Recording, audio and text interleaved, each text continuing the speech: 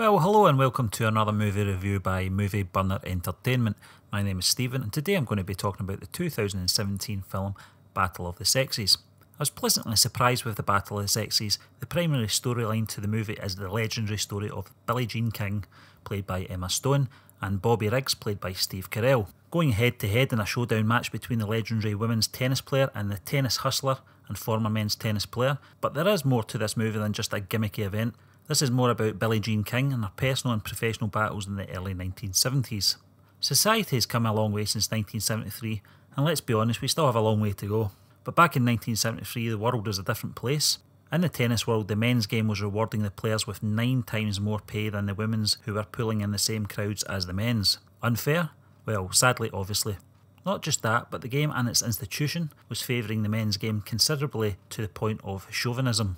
Billie Jean King, along with her manager Gladys Heldman, played by Sarah Silverman, were at the forefront to change the face of the women's tennis forever by breaking away from the WTA and its president Jack Kramer, played by Bill Pullman. Also, in her personal life, she was battling, struggling to come to terms with her own sexuality, as her friendship with Marilyn Barnett, played by Andrea Riseborough, developed throughout the tour. This is where the story succeeds. The match itself, although it is billed as the climatic finish to the film, I felt her battle with the establishment and her own personal feelings more compelling. Match versus Bobby Riggs was really just icing on the cake, as I get it up you to Kramer and co. Emma Stone must be in the top five of Hollywood actresses just now. Her portrayal of Billie Jean King is controlled and composed. She never at any point overdoes the character or the situation. In fact, I felt her portrayal helped me understand the struggle not just for her, but for women in general, and not just in the tennis world. Stone gained 15 pounds of muscle for this film, and it shows her commitment to the role. Steve Carell I've been a fan of since 2003's Bruce Almighty as irritating Evan Baxter, and followed this character up with the less successful Evan Almighty. His next role, though, was the one that caught my eye in 2007's Dan in Real Life. It showed me that Carell could act outside his comfort zone, and in the Battle of Sexes, I felt he did well as the serial hustler Riggs. As Billie Jean King said, Riggs is more of a clown playing to an audience rather than an out and out chauvinist. Don't get me wrong, there are times when he displays a lack of respect in the film, and to be honest, I wasn't sure myself whether or not this was part of the act. The rest of the cast were mostly consistent and really just added to the occasion. Sarah Silverman is great as Hillman, Andrea Riseborough was fine as the hairstylist Marilyn Barnett.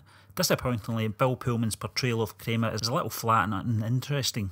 Credit to directors Jonathan Dayton and Valerie Faris. What could have been a very run of the mill storyline turned into an interesting drama that flitted back and forth between Billie Jean King versus Bobby Rigg, Billie Jean King's relationship with Marilyn Barnett, and Billie Jean King's versus Jack Kramer. The pacing throughout was consistent and was well mapped out. Interestingly, I was personally impressed by the inclusion of stock footage of Howard Cosell, famous sports announcer who broke the news of John Lennon's death on Monday Night Football that dreadful December night back in 1980. Using clever CGI wizardry, the filmmakers managed to convince the audience that the actress Natalie Morales, who played Rosie Casals, was being interviewed by Cosell in an almost flawless process.